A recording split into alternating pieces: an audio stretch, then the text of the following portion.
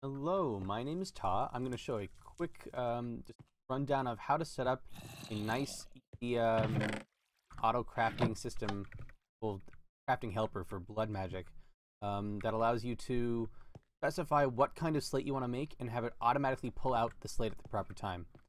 Um, so this is done uh, using a, applied energistics in a very very simple system.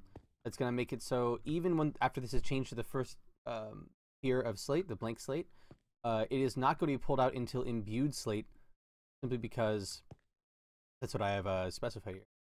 So uh, this is take a little bit here. Speed runes are coming next. Um, the way this works is very very simple. We can see that it has now pulled out the plate and just put it right into the chest, and it's really easy to build even for early game or fairly early on. Once you can get a really simple ME system components put together uh, it's very simple. So start out, let's just look underneath. All we have is an import bus with a couple of acceleration cards. These aren't 100% necessary, but it ensures that the slate doesn't like, somehow end up going on to the next stage before it can be pulled out. Um, and this cable just goes all the way underneath over to uh, those levers over here. So we can see the cable actually coming through. Whoop, uh, wrong one coming through down here at the bottom. Um, and going into the system, let's take a look at what this is. So to start, I have a solar panel up here with just an energy conduit connecting to an energy acceptor. So this is on its own subnetwork. There are no controllers necessary. Um, none of that. Uh, it can just run all on its own. It uses a very small amount of power. So in each of these things, I have an ME toggle bus. I'll come at this angle so you can kind of see it better. Whole system. Uh, an ME toggle bus behind uh, a storage bus that's configured to the type of slate for each of these uh, different chests. Now, if you haven't seen a toggle bus before, it's a really useful but kind of niche um, component for ME system.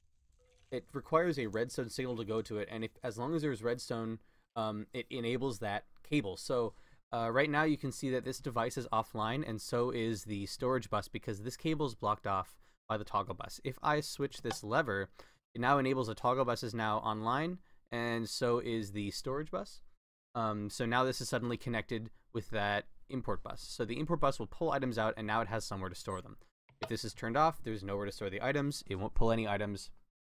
Everything is fine. So um, this is really useful for these kinds of manual systems where it's like I want to have something somewhat automated but still have to manually specify. Toggle buses can be fantastic for that. Um, other than that, I simply have these uh, blocks here to make it a nice background with a stairs above the chest to make so you can still open it. Um, this one has facades because I have the energy acceptor here. I could move this back, but I liked the way it looked with a nice, easy maintenance tunnel going by the back here. Um, and then I have facades on the uh, on the top and side or front, top and front, I guess, of these uh, where the switches go, uh, so we can easily flip the levers and have it all work nicely. So the coolest thing about this design is that it is infinitely extendable. You can have as many of these things as you want, and it will not change uh, the system. You don't have to have any extra components, just add more cable. And the reason it works like that is you don't have to ever worry, worry about channels because the only things that'll be enabled on a channel are the import bus and whichever one of these things you have switched. Because remember, toggle bus completely disables that cable. It doesn't use up any channels in the process. So you can have as many of them as you want as long as you're only switching one at a time. I guess you could technically do up to seven switches, um, and it won't have any problems at all.